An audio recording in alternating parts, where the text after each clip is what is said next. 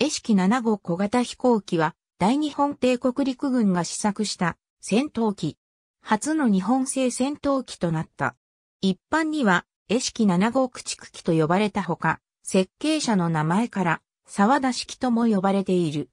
沢田州臨時軍用気球研究会の沢田州中尉は、1915年秋に独自設計の推進式戦闘機の設計に着手した。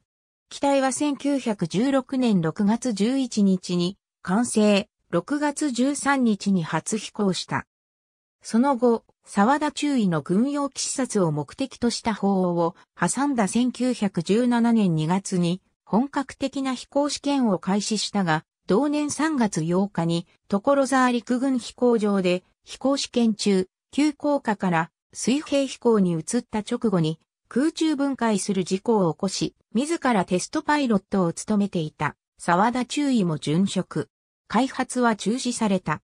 機体は当時日本に輸入されていたカーチスモデル D などのカーチス製推進式曲機を参考とした設計の木製骨組みに翼の実ハフバリの小型軽快な総動服用機で初飛行時には好成績を示している。膠着装置は前輪式の固定客。武装として固定機関銃1丁を装備する予定だったが、実際に装備されることはなかった。また、この機体が、絵式の名の付く最後の機体となった。なお、絵式7号飛行機と呼ばれる航空機はもう一種類存在する。